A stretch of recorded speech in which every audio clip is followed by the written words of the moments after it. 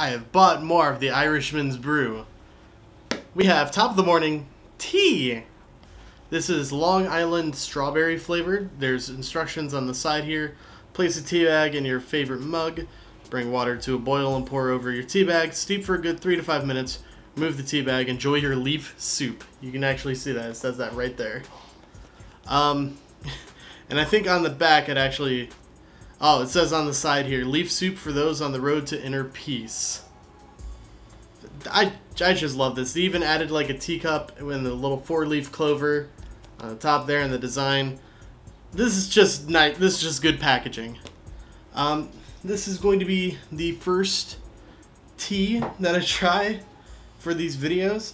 I'm historically not a tea person. I prefer coffee. Whoa, the sun came out. Did you see that? Uh, I prefer coffee. Tea has just never tasted good to me, no matter what I do to it.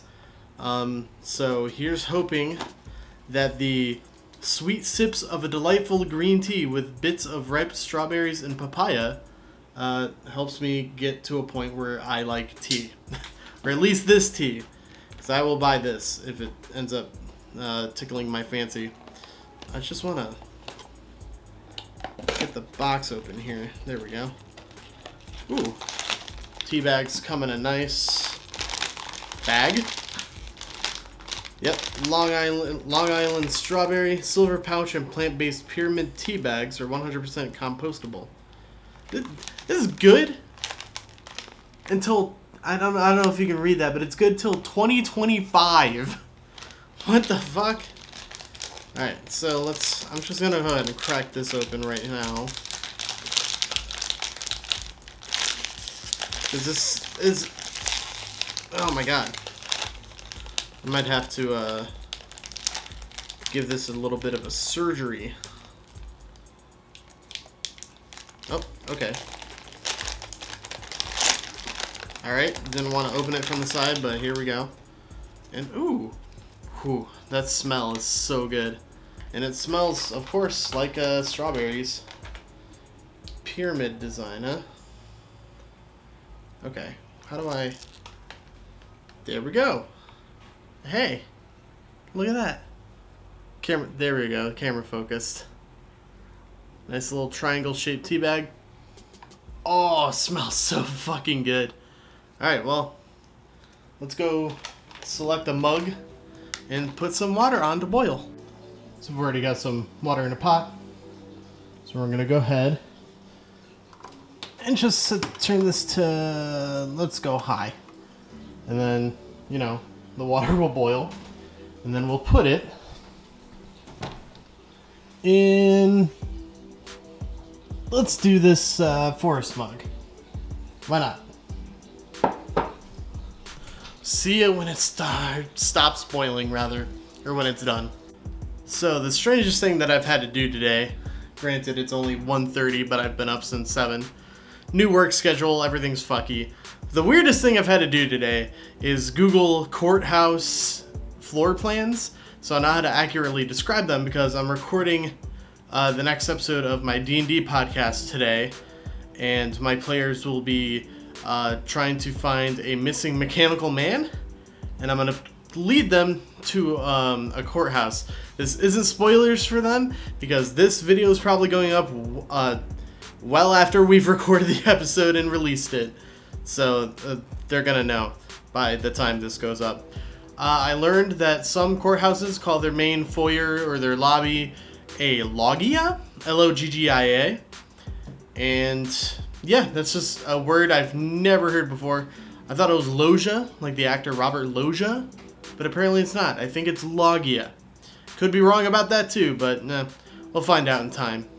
But yeah, just thought I'd share that bit of interesting information with you. There we go. It's off. Take it. Take it, take it, take it. Ooh. Hot handle. Hot handle. I need a pot holder. Gotta protect your hands. There we go. Bring it over here to the mug. I already have the tea bag in. And pour carefully.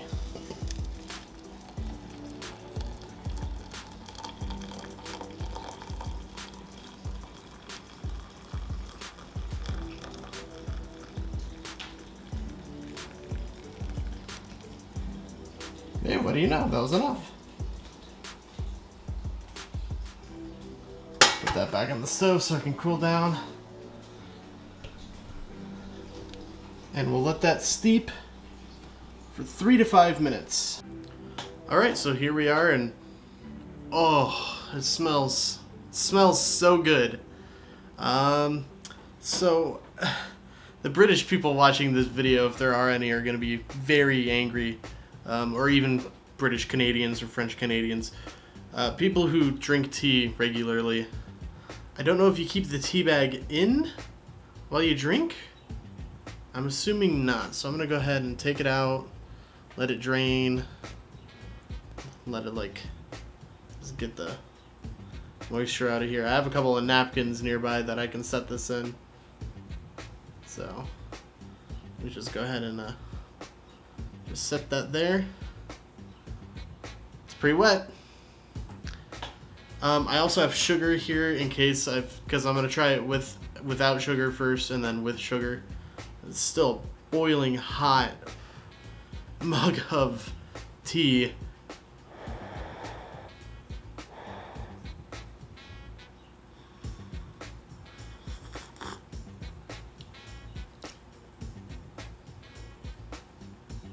Hmm.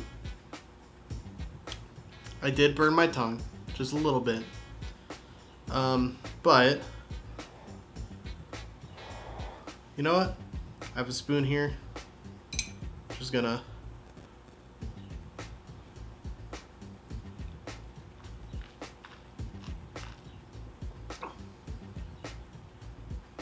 That's not bad. That's not bad at all.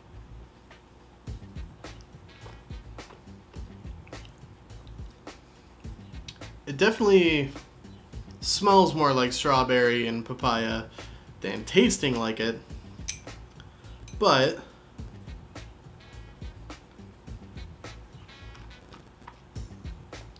Oh no, there's some strawberry taste.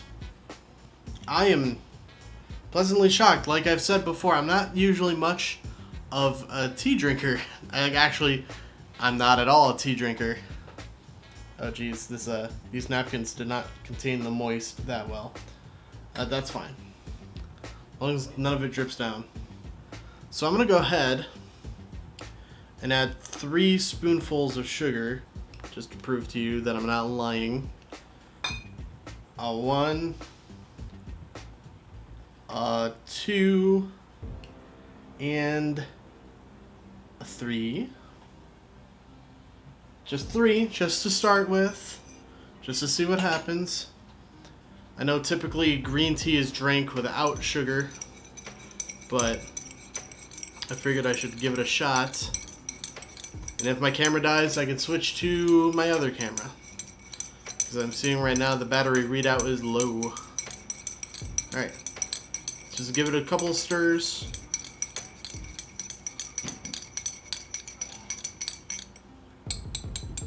It feels like all the sugar's dissolved. So. Man, tea with sugar just doesn't taste great. It doesn't help the flavor much. But it makes it a little more tolerable to me anyway.